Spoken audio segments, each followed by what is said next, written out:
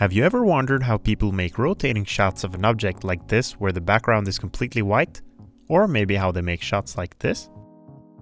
Well, it's actually quite simple. All you need is some paper, a few lights, and a motorized turntable. In this video, I'll show you how you can make a 3D printed motorized turntable and also show you how you can get that perfect white background. This turntable has a 3D printed body that uses skateboard bearings for stability and a motor in the middle to keep it spinning. The motor used here is actually commonly found in microwaves and it's actually what makes your plate rotate so your food heats up evenly. Now let's look at the parts we need to assemble it. First, we have the 3D printed main body. Then we have the rotating platform. We need 4 skateboard wheel bearings, 4 printed pins for the bearings, a motor, a power cable with 6.3mm flat connectors on the ends, and finally 2 M3 screws and 2 M3 nuts. The assembly is super simple. First we grab the motor and attach the flat connectors from the power cable. Then we place the motor into the main printed body with the shaft going through the hole in the middle.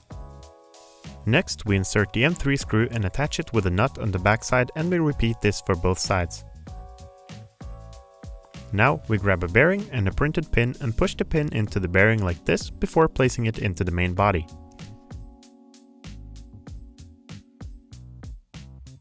Now let's grab our round platform that actually has this hole in the middle that matches the shape of the motor shaft. We simply place the platform on top of the motor and rotate slowly until it grabs.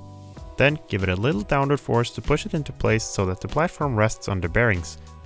Then give it a spin to make sure it rotates freely, and as simple as that, the assembly is done. Now it's just a matter of plugging in the power cable, turning on the power, and it works. Just like planned. Now grab your favorite object, place it on the platform, and enjoy a 360 degree view. You may notice that I'm using a dimmer switch, and I originally thought that this would allow me to control the speed, but this motor seems to only have one speed because when I adjust down the power it just goes crazy and switches directions so I'd recommend just using a regular on-off switch. Now over to how we can actually achieve the perfect white background. And this method is actually quite simple. We start by placing the turntable on a surface in front of a wall. Then we can add a big piece of white paper against the back wall to create the white background.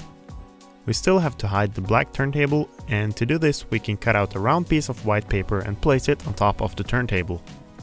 Now, if we place our object on the turntable already, we get quite good results. But we can still make it better by adding some lights.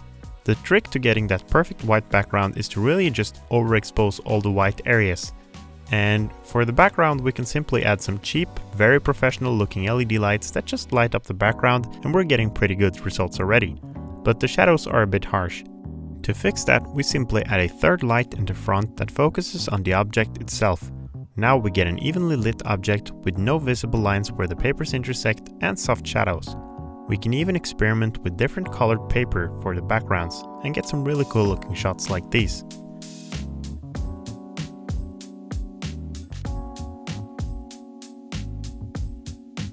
And you don't necessarily need any fancy camera to do this either. I was actually surprised at how well the iPhone performed in this type of shot. If you enjoyed this build, feel free to leave a like or subscribe to my channel if you want to see more like this. I'll leave links down in the description of this video for all required parts and also links to the free 3D files if you want to make this yourself. Thanks for watching, I hope you learned something new and I'm looking forward to seeing you again in my future uploads.